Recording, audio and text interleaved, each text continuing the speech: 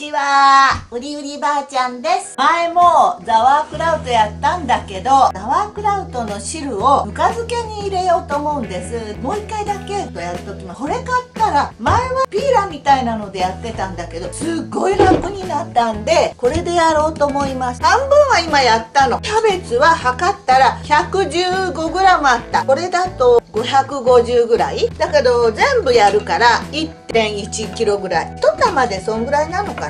これでやるとザワークラウトってすごいゴキゴキ揉まなきゃいけないじゃないですか。それしなくていいの。だからすっごいよ。ただこうやってもう鼻歌歌ってればできる。本当に楽よ。フードプロセッサーっちゅうんだっけ。ああいうの使ってもいいんだろうけどこれがすごいお気に入りでございます。1.15とかそんなだったけど芯の部分があるじゃないですか。だから1.1キロぐらいだと思うんです。簡単って言っても結構まあ実写でこれぐらいよ。落ちると思いませんいい感じうまくいってるか。日々ねいろいろ考えてるんだよ。こんななったでしょ？どんぐらい時間？でまあ削るけどそんじゃないと思うよ。だから結構早くできる。ほとんどね全部使える。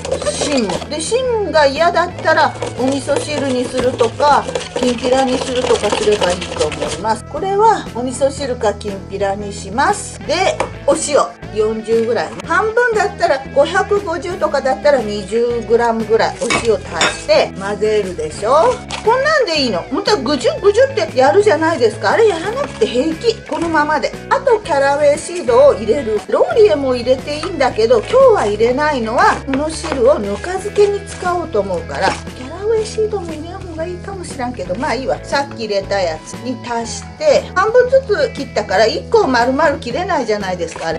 手が痛い。なんで？あ切ったんだ。ニョキニョキで小指の先端を切ってしまいました。というのが今分かりました。やるんだよ私。いつもよく今まで生きてきて。でもまあすごいいっぱいね怪我ばっかりしてきたよ。痛いよ。何でもいいからこの中に入る瓶にお水入れて重しにしてこういうのついてるとこれ上がってくるから。本当は髪もきれいに取っといた方がいいけど今取ってないけど気をつけてください。でこうやって2日3日置けばできます。発酵してくるから。それをいつものように豆乳に入れて豆乳ヨーグルト作ってるんだけどその汁があるじゃないですか。ぬか漬けに入れようと思うのでちょっとやってみました。この後はできたらぬか漬けに続きます。ザワークラウトこうやって置いとけば夏だったら2日ぐらいでいいと思う。冬だったら34日とかかかるかもしれない。できたやつは豆乳に入れて豆乳ヨーグルト作ってください。結構切ってるわ。この中一緒に入ってるね。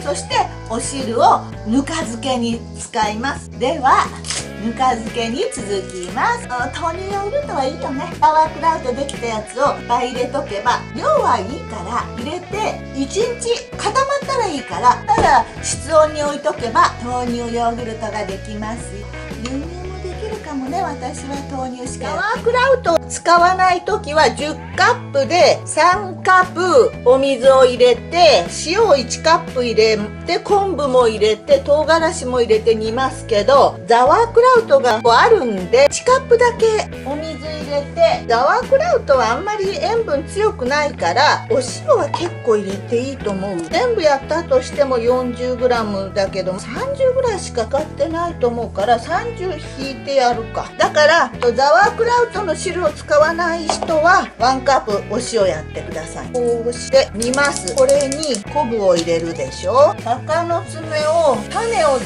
して2本ぐらい入れて一緒に沸騰させます種全部出したつもりだったけど入ってた。まあいいや。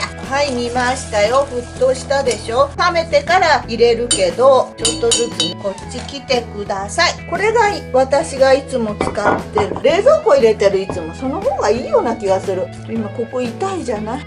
あ人参がな。い人参入れとここれ前ビーツ入れたから赤くなる。人参いつも入れ入れて朝のスムージーに入れるの。人参って生のまんま食べるとビタミン C を壊すというじゃないですか。ではこれはこうしといてこのぐらい入れてこれ冷めるのちょっと時間かかると思うから早く冷めてほしい。冷めました。そしたらザワークラウトの汁をこしてこれは前のやつこっちもこっちにもあるでしょ。これどうやってこの汁を取ります。これが乳酸菌いっぱいだからいいでしょそうすると乳酸菌があるからぬか漬けも早く発酵するでしょ。と思うわけ私としては。こう入れといてこれにザワークラウト混ぜます。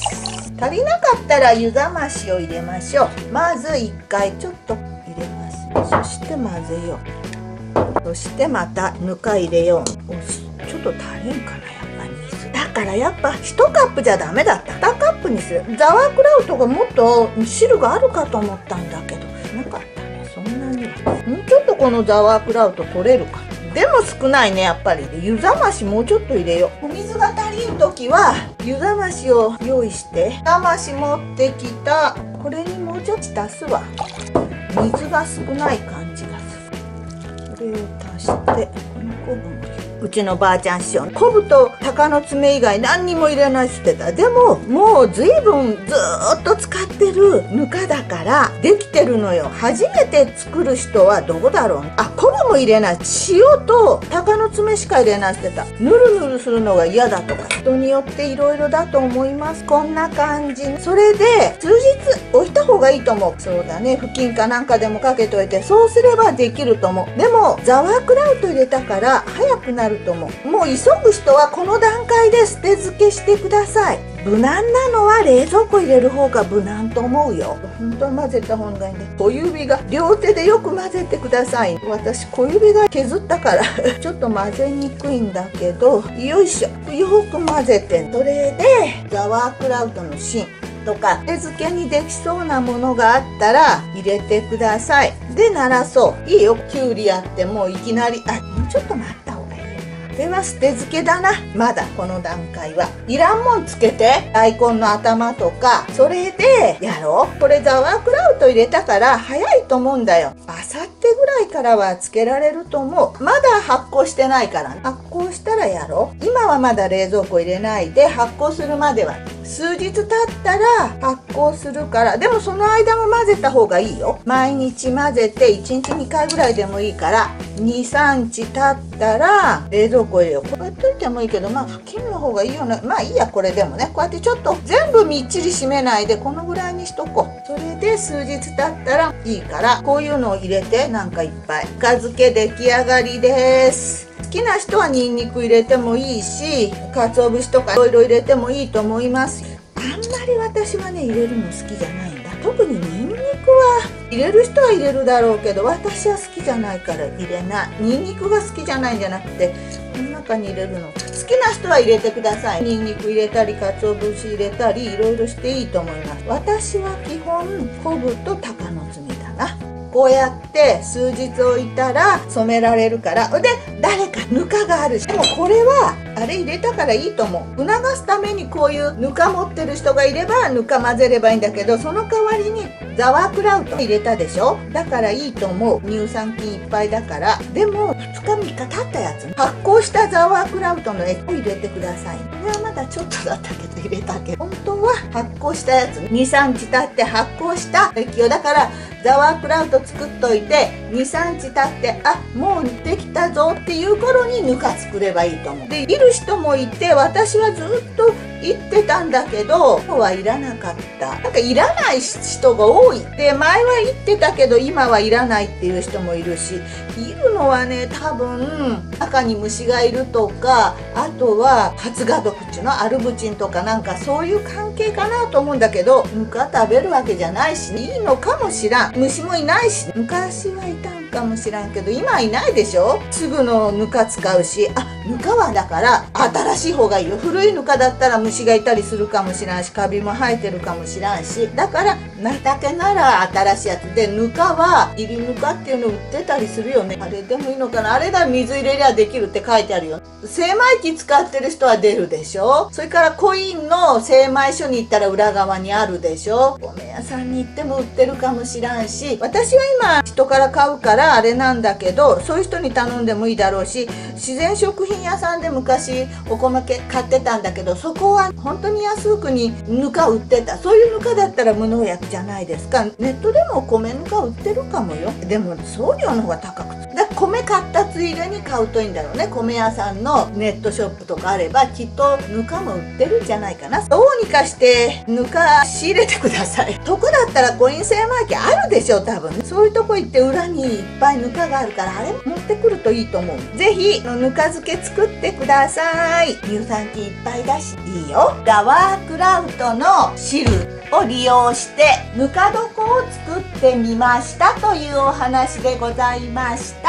これとこれです。ぜひ作ってみてください。でこれから今捨て漬けしてるけどあと数日前に捨て漬けしたぬか漬けです初めて作ったやつ。人参とかをもうね本漬けできると思います。ちょっと水が少ないけどまだザワークラウトの汁があったら入れてみてもいいです。まあそのうちいろいろ入れとけば水分出てきますからこれで今だと1日2回ぐらい混ぜてれば大丈夫なんだけどもしお出かけしたりする時は23日だったら冷蔵庫へそのまま入れとけばいいしもっと長く出かけるんだったらここにお塩を白くなるぐらいまでずらーっと白くならんでもいいかな。とにかくこの辺にお塩をバーッとかけて冷蔵庫入れとけば大丈夫。大丈夫ですから毎日よーく混ぜていろんなお野菜入れとけば美味しくなります。どうしてもこういうのついたまんまになるからだんだんかも少なくなってくるからまたそうしたらぬかを入れてやればいいし水気が少なかったら少しまたお水をザワークラウトの汁があるからあれ入れれるのが一番いいかなと思うけどザワークラウトじゃなくても